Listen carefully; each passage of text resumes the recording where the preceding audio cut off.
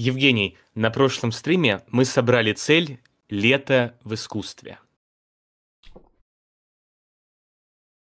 Лето в искусстве? Да. Ой, лето в искусстве.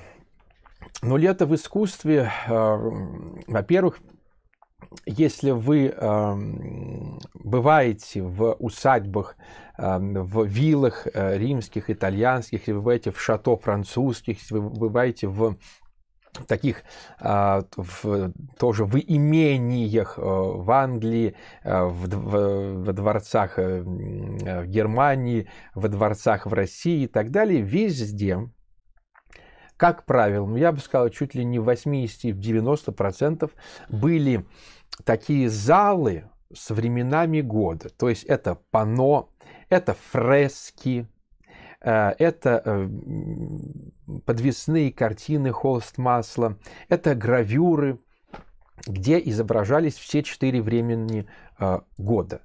И изображали, как правило, самые выдающиеся художники. Допустим, при дворе Людовика XIV работал Антуан Куапель. Он создал такое, да. А, но очень многие, очень многие и времена года ассоциировались, как правило, не только вот сбор урожая или посев и так далее, но это какой-то бог, если вот уже осень, сбор урожая, допустим, это какой-нибудь ВАГ и так далее, и так далее.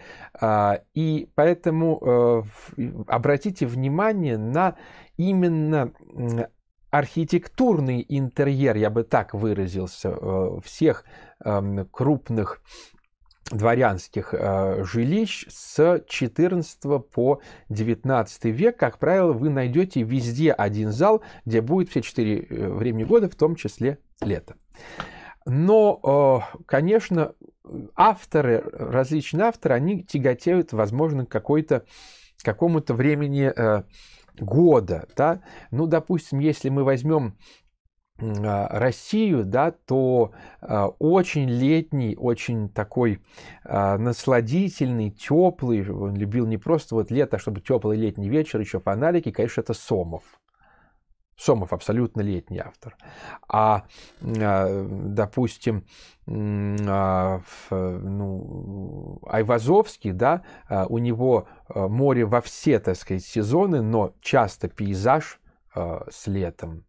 Замечательный Куинджи, потрясающий летний. Причем у него а, лето совсем с грозами, а, с бурей, вот все. Архип Э, Куинджи. Замечательно. Это э, у нас, да. Я не беру там что это самое, медведи на отдыхе, Шишкин и прочее, это все понятно тоже. Вот. Эм, замечательно изображал лето как антураж красивых э, и красиво одетых дворянок и дворян э, Брюлов, причем не, не, не, разные Брюловы, разные члены семьи Брюловых. У них так замечательно всегда летний а, виноград, летнее дерево, летний второй план, ой, обрамляет потрясающе совершенно, да. А, из западных, из западных мы понимаем, что жаркий автор Караваджо, но Караваджо, он, э, конечно, очень спелый автор. Ему нравились плоды, спелые, так сказать, э, сюжеты, большая, э, такой яроскура уже ближе туда к осени, хотя у него летние персонажи жаркие в осени, вот у Караваджо. Лето, а, лето, ну, конечно, а, Клод Лорен, у которого идиллические пейзажи, они настолько беспроблемные, беззимние, принципиально беззимние, они вот у него летние. Такой летний автор, у него все тепло, у него Э, Европа не замерзает у Клода Лорена, э, значит, у него там никакие трубы не прорываются, никакого шантажа нет, у Клод все, все вот так вот, поэтому лето в искусстве. А, вот. И, соответственно, гравюра то же самое, что гравюры часто копии. Есть самостоятельные произведения, но часто а, копии. Ну и так далее. Вот один вариант э, такой, да. А так, лето в искусстве, ну, полотно, кинематограф тоже полотно, поэтому очень разные. Можем сказать, жаркое лето э, в, Гата, в Легатопардо, в Леопарде э, с сицилийской пылью. Можем посмотреть такое неореалистическое, неореалистическое кино в Советском Союзе «Июльский дождь» Марлена Хуциева, да, романтика такая вот летняя и в душе лето, и на улице лето, но дождь, но дождь это вот романтика. Пожалуйста.